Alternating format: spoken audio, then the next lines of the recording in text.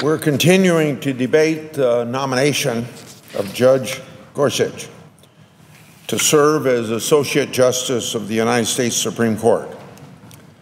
My colleagues on both sides of the aisle have said that this is an important moment for the United States Senate.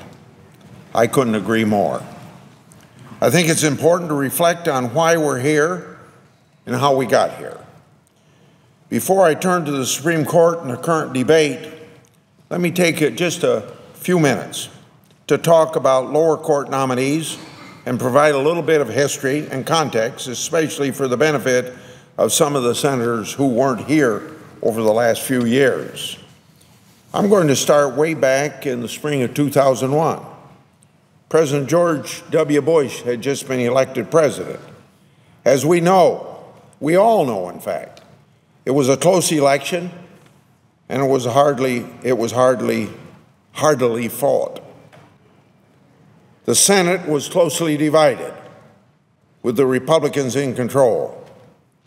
Given how close the presidential election was, there were elements of the hard left who refused to accept the results of that election. Some blamed Ralph Nader, others blamed Governor Jeb Bush, and still others blamed the Supreme Court. Many on the hard left claimed that President George W. Bush wasn't, quote unquote, a legitimate president. Liberal interest groups were egging on the Democratic leadership to fight the new president at every turn. Now, that still sounds very familiar for this year that we're in. At the same time, one major concern for the hard left, liberal interest groups, was that President Bush, whom they claimed wasn't legitimate, would be able to nominate conservative judges. Again, doesn't that sound familiar? Senator Cornyn went over some of this same subject yesterday, but it deserves discussion now and it deserves as a reminder where we've been before because sometimes the past predicts the future. So in the spring 2001, the hard left interest groups went to the Senate Democratic leadership with a plan. According to the New York Times, 42 of the Senate, and this is a quotation, 42 of the Senate's 50 Democrats attended a private retreat where a principal topic was forging a unified party strategy to combat the White House on judicial nominees, end quote. Thinking about 2017, doesn't that sound a little familiar?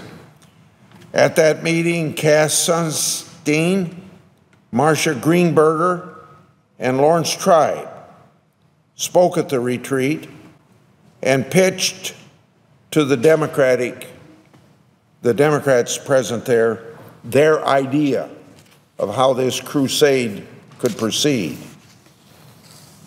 One to attend, I quote, according to one attendee, and I want to quote, they said it was important for the Senate to change the ground rules, and there was no obligation to confirm someone just because they're scholarly and erudite, end of quote.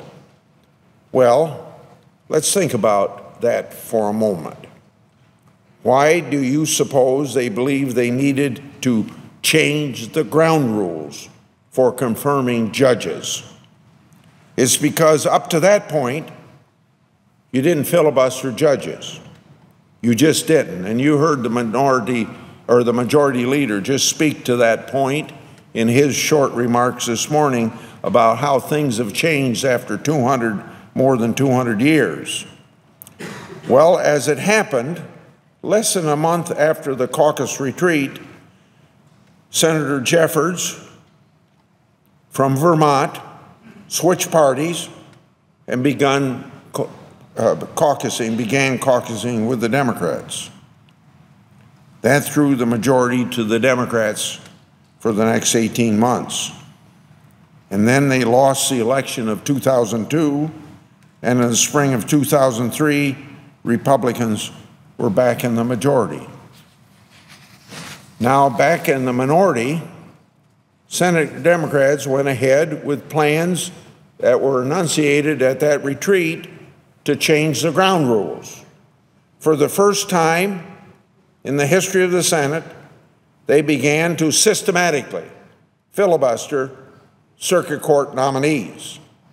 Not because they believed the nominees weren't qualified, because these nominees were qualified.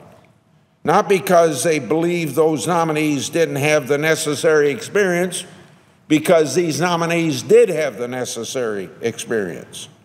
They filibustered those nominees because they believed that they were conservative judges. So, with respect to appellate court nominees, Senate Democrats, at the behest of the far left, took the unprecedented step of using the filibuster in a very systematic way for the first time in Senate history.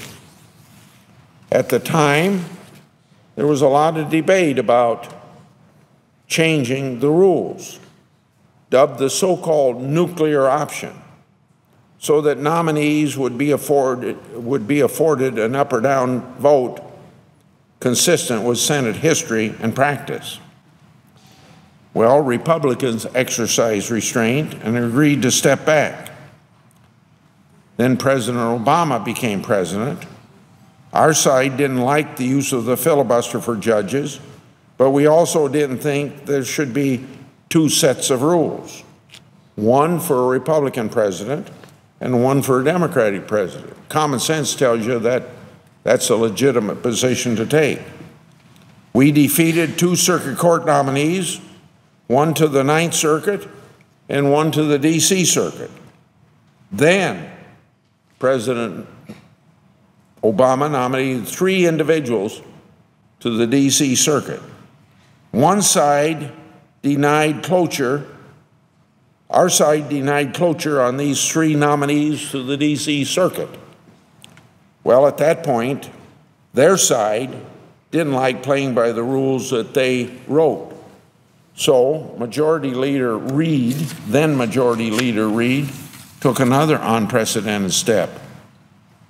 In November 2013, he utilized the so called nuclear option to eliminate the very tactics that they pioneered. So nuclear option becomes effectively the Reid rule. So that's how the filibuster was first used on lower court nominees and later eliminated. Senate Democrats took the unprecedented step to utilize that. And when and then when it no longer benefited them they use unprecedented means to eliminate it. So this brings me back to where we are today and the rest of this week to talking about a Supreme Court nominee, Judge Gorsuch. Everyone knows that we had a big debate last year about whether to proceed with a Garland nomination. There were 52 Republicans who believed that we should follow Senate history and tradition and not proceed with the nomination in the middle of a heated election year. And I know it frustrates my colleagues to hear me say it, but the fact of the matter is that in 1992, when then Senator Biden was chairman of the Judiciary Committee, he announced that he wouldn't hold a hearing to fill a vacancy in the last year of President Bush's term. So last year, we followed the precedent that Senator, then Senator Biden described in 1992 for all of the same reasons he discussed. And you get back to this common sense principle. Can you have one rule for Republican presidents and another rule for Democratic presidents? We didn't feel you could. And of course, everyone in this chamber knows that if the shoes were on the other foot, the Democrats would have done the same thing because they said they would. In fact, President Obama's former White House counsel admitted as much. She said she would have recommended the same course of action if the tables were turned. So now, here we are, April 2017, with a nominee before us. Just like in 2001, we've had just a contentious, we had just had a very contentious presidential election. It was close. It was hard fought. And frankly, some on the hard left refused to accept the results of the election. Once again, left wing groups are egging on the minority leader to take another unprecedented step with respect to judicial nominations. Only this time, they want him to lead the first, very first, partisan filibuster of a Supreme Court nomination in United States history. And based on the vote we had yesterday, it appears that 44 Democrats are prepared to follow the minority leader on this fool's errand. No Supreme Court nomination in our country's entire history has ever failed because of a partisan filibuster. There's no getting around that fact. Abe Fortas, they might refer to, was subjected to a bipartisan filibuster over ethical concerns when President Johnson tried to elevate him to be Chief Justice. Now, Justice Thomas was confirmed by a vote of 52 to 48. I was here for that nomination. A single senator, any senator, could have demanded a cloture vote. But out of 100 senators, none did that. Why? For a simple common sense fact and 200 years of history. You don't filibuster Supreme Court nominations. But today is entirely different. The minority is committed to filibustering this fine nominee the first partisan filibuster in U.S. history. So here we are. The president has nominated an exceptionally qualified judge to take Judge Scalia's seat on the Supreme Court. And the Democrats will break new ground again by conducting a partisan filibuster of that nominee. Republicans aren't the ones breaking new ground here. As a matter of fact, the Democrats' own vice presidential nominee last year emphatically promised that the Democrats would further change the rules to make sure an expected President Clinton's nominees couldn't be filibustered. So at the end of the day, the fact is that if Democrats insist on a filibuster, Republicans will insist on following the practice of, that senators have followed for more than 200 years, and that is not to filibuster, have a partisan filibuster for somebody going to the Supreme Court. We don't conduct partisan filibusters of Supreme Court nominees. And we certainly not going to start with this highly qualified nominee. And I hope those that think back 16, 17 years when this meeting of Democrats in retreat came to the came to the conclusion you had to break new ground, that they realize that that has poisoned the well of the comity traditional of the United States Senate. And I think maybe a lot of them realize that was a mistake, as we realize that that's a mistake. And it'd be nice to get back to the comity of the Senate that existed on judges prior to 15 or 16 years ago.